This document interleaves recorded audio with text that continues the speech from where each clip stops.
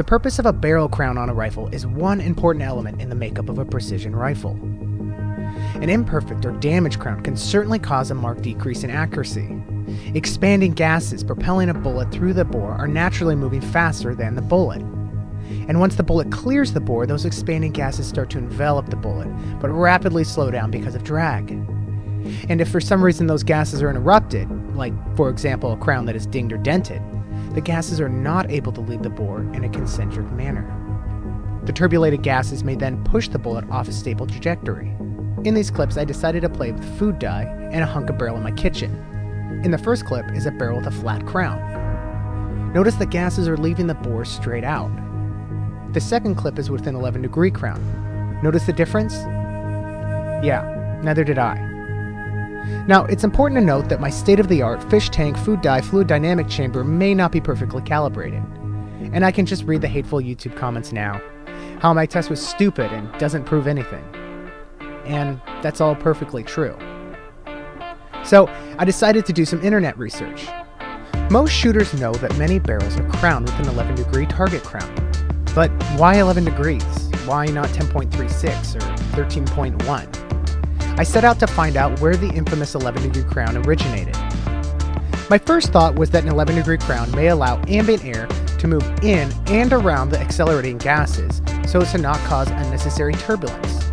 And the recess of the 11 degree crown also allows some protection to the point where the crown meets the bore. And after countless hours on the internet, trying to find where the infamous 11 degree crown came from, I concluded one thing. No one really knows. Now, some say it was from an old timey gunsmith who probably decided 11 degrees sounded just obscure enough for people to buy into. I mean, think about it 10 degrees just sounds silly. Others said that the AMU, that is the Army Marksmanship Unit, cut crowns into a barrel one degree at a time. 11 degrees was apparently the best.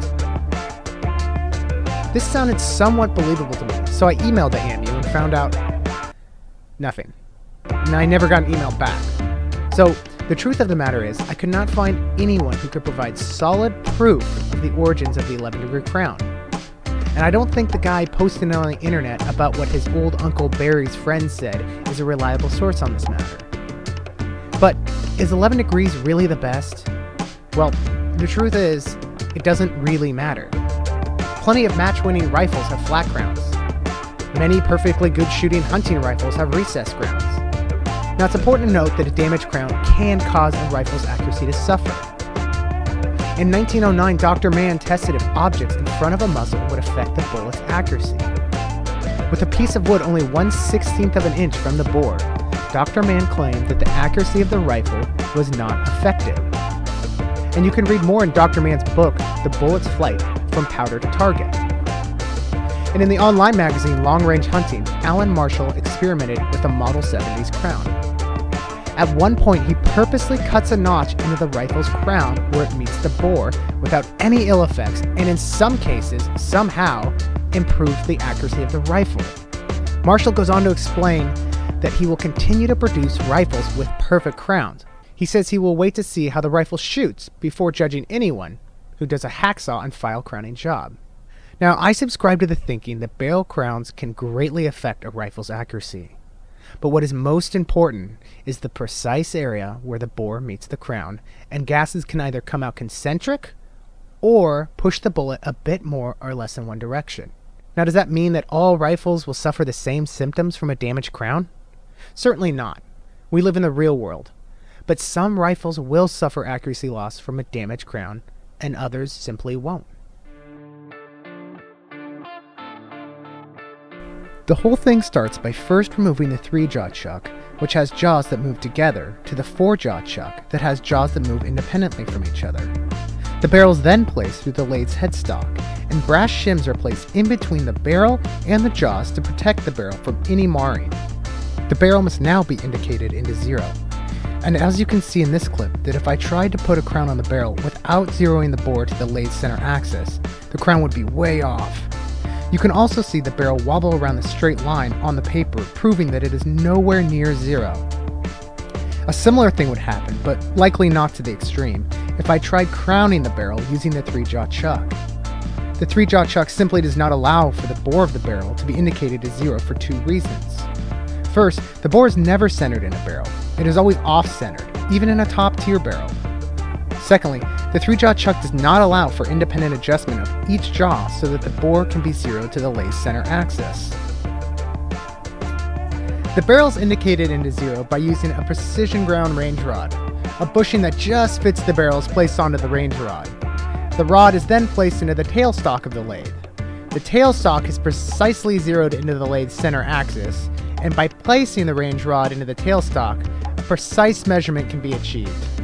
Jacking screws are then placed into the spider, which is located on the opposite side of the chuck. This allows the barrel to be zeroed lengthwise, as well as side to side. With the range rod inside the barrel about 3 inches, the barrel can now be zeroed using the 4-jaw chuck. Once zero is found, the range rod can be backed off to about half an inch. The needle on the dial test indicator will most likely be nowhere near zero. The jacking screws will be used this time to find zero. The range rod is then again advanced about 3 inches in the barrel, and the 4-jaw chuck is used to find 0 again. This process will need to be repeated until the indicator reads 0 on both the outboard and inboard readings. Once the indicator reads 0 on both ends, the barrel is 0 to the lathe center axis. Next, the compound rest of the lathe is set to 11 degrees.